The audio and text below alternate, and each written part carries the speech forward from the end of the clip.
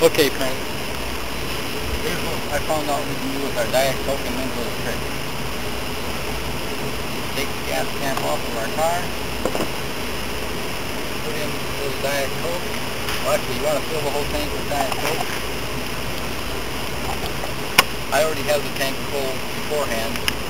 So now the trick is to get the gas cap on as soon as possible after we get the Mentos in. So are you ready to put the Mentos in? Remember to get the gas, gas cap on as fast as you can.